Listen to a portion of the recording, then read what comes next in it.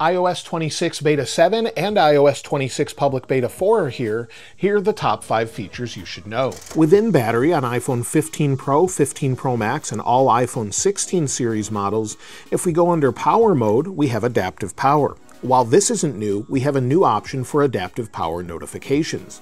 This before would just send you a notification, now you have the option to turn it off. If we go into the Messages app, and in the menu in the upper right, we now have an option for drafts. Within drafts, you can compose a message, maybe come back later and finish it, or you can delete it altogether. So you'll see it keeps what you were typing, or you can go back and delete it if you'd like to do that, and remove it from all conversations across all devices. In the United States, on the Apple Watch, Apple added back the blood oxygen feature on the Series 9, Series 10, and Apple Watch Ultra 2. This started to release with iOS 18.6.1 to the public and watchOS 11.6.1, but now it works in watchOS 26 Beta 7 and iOS 26 Beta 7. One thing to note about this is if you had the feature before this, it will still work, but if you bought an Apple Watch in the United States after January of 2024, the option just didn't work.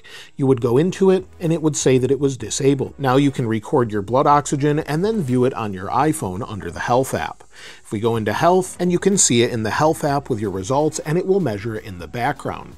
You're unable to see it on the Apple Watch due to a legal reason in the United States, but anywhere around the world that already had it, or if your previous Apple Watch had it, it's not affected. Also, if you're using the Xcode Previews app, they've now added an option for a clear icon. You can set clear icons by pressing and holding on the home screen, going to Edit and then Customize, and then going to Clear at the bottom, and you'll now have that for the Xcode Dev app as well. Also in this update, everything is just super fluid altogether. You've got a nice bouncy effect that they introduced a couple betas ago within the control center.